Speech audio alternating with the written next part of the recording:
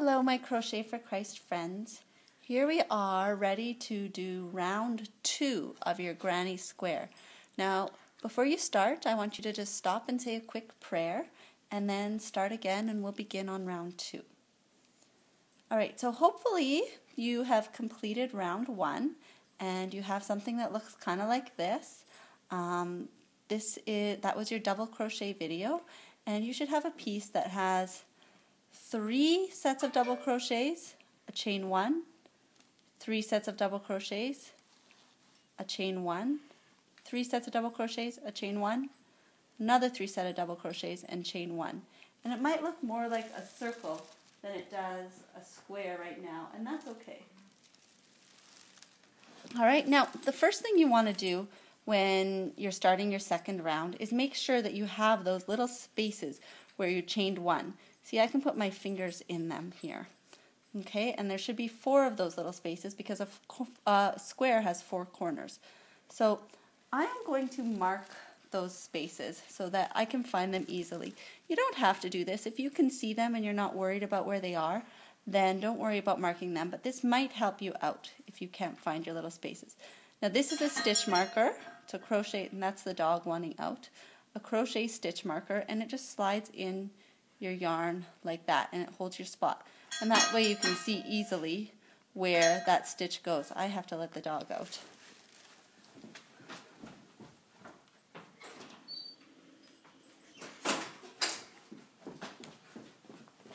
Sorry about that. Now, you won't have a stitch marker at home, but another handy tool is a paper clip. And you, if you just open up your paper clip, you can slide that in there as well. So I found this one chain space. It's called a chain space. We made a chain and it left a space in your work. Okay, and then one, two, three double crochets later, I have another chain space. And I'm just going to put that in there so I can find it again. Okay, one, two, three double crochets, and I have another chain space. One, two, three double crochets, and I have my last chain space. Four chain spaces there because we have four squares on a corner. Okay? Now again, you don't have to do that, but it can help you see where your hook needs to go later on. All right, now I'm just going to hold my yarn as normal, and I'm going to chain three. One, two, oops, three. Okay? I'm going to show you the pattern here. And I'll give each of you a copy of the pattern so you can see it. You see that clearly? Oops. All right. So this is our granny square. You've already done round one. We're on round two. All right, and the first thing we did is chain three. And then it says to turn your work over. And I'm going to show you in a minute how I do that. We just flip the square over so that you are kind of working on the back now. And then it says work all of the double crochets in the chain space. So those chain spaces you marked is where you're going to do your double crochets. Then it says two double crochets, chain two, three double crochets, chain one. Okay, so we're going to do that. We did our chain three here, and now we're going to just turn our work. So we turn it around to the back side. Okay, and I've got that that marker in there so I know where to do my double crochets. So it said chain three and then two double crochets. So hopefully you remember how to do your double crochet. I'm just going to show you once. If you don't remember, go back to the last video and practice that. Okay, so I'm yarning over. I'm using my finger to hold those um, strands in place. I'm going to bring my hook forward and stick it in that chain space. Right beside that stitch marker is there. Okay, so I'm just going to stick it in right where that stitch marker is. And I'm going to yarn over here, okay, and I'm going to pull that through um, my loop. Now I have one, two, three loops on my hook, okay, yarn over, I'm going to pull through one, two, yarn over, and I'm going to pull through one, two again. So that's my first double crochet. I need to do it again. Yarn over, hold that, stick it in the loop, yarn over and pull through, yarn over, pull through two, yarn over, pull through two. So I have a chain three, one, two double crochets there. Okay, and then it tells me to chain two. One, two. And then it tells me to do three double crochets in that same space where that first stitch marker is, or your first paper clip, your first space, you're going to do three more double crochets. This is going to make a corner. Okay, so I'm going to do three more. One, two, three. If I'm going too fast for you, you can always pause the video and um, do what you need to do and then start it again. After those three double crochets, it tells me to chain one. And there we have our first corner. Okay, so in the corner we chain two here between our sets of double crochets. And then along the sides we only chain one. Now let's go back to the pattern.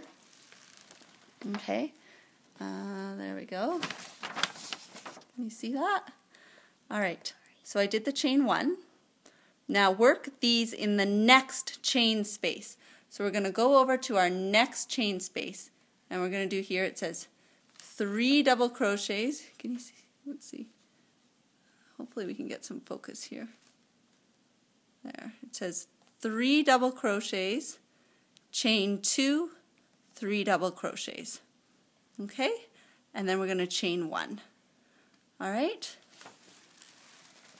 So, I'm going over to where I've got my next stitch marker, my next chain one space. All right, that's where I'm going to put my hook in this time. I'm going to do three double crochets. So yarn over, stick it in where that next stitch marker is. Okay, pull through, yarn over, pull through two, yarn over, pull through two. That's one double crochet. I'm going to just do this here. I'm going to make three double crochets. Two double crochets, three double crochets. Remember, press pause if I'm going too fast and just catch up. I've got three double crochets, chain two is what my pattern says. Chain two, three more double crochets in that same spot. Same spot. Very important or you won't have corners. One double crochet, two double crochets, and three double crochets again. And then it said to chain one. Okay, now you see I'm getting some corners here. It's looking more like a square. All right, now my pattern is going to tell me to go to the next chain space and do the same thing again. We're going to do three double crochets, chain two, three double crochets, chain one. Okay, so I'm going to go to that next stitch marker and I'm going to do three double crochets. One, two, three. Then it says chain two. Chain one, chain two. Three more double crochets in that same spot. One,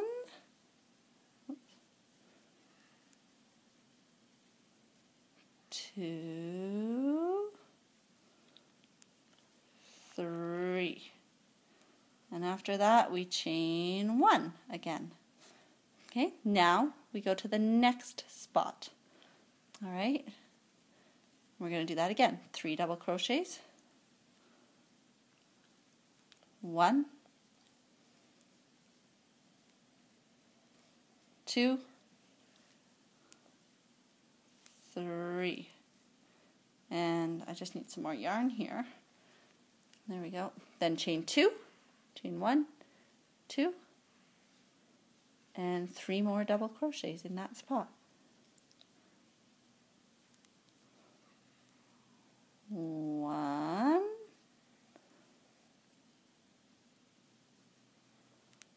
two, three, and last is chain one. So you see, it is a repetitive pattern The only difference is that very first one you did was a chain three instead of a double crochet. Okay, so we have our three double crochets, chain two, three double crochets, chain one, three double crochets, chain two, three double crochets, chain one, three double crochets, chain, get the tail out of the way, chain two, three double crochets, chain one, three double crochets, chain two, three double crochets, chain one at the end. Now the last thing we have to do to finish this round is to slip stitch it together. And I'm going to just grab the pattern again. And I hope it's not too blurry. If it's blurry, just look at your own, okay? The bottom here, it says slip stitch to the top of the beginning chain three. Okay, so what we have to do is go back to our beginning chain three. That was the first chain three we did, and it should be right beside here. We did a chain three instead of a double crochet. And you kind of got to look at it, and it's pretty easy to see where the top is, but you can count it. One, two, three chains. And you just find the top there. And what you do is slip stitch it. So you stick your hook in both parts of the V, okay, of that chain three. You yarn over, pull through your V, and pull through the loop on your hook. And now you have your square. And now we want to look nice. Let's pull these stitch markers out. So you just got to slide the paper clips out and oops, drop that one. There, get rid of those. And you have your granny square. This is round one. This is round two. We are going to change colors for round three. So, what you do to finish this off is you have your hook in there. That's where you did your slip stitch. Okay?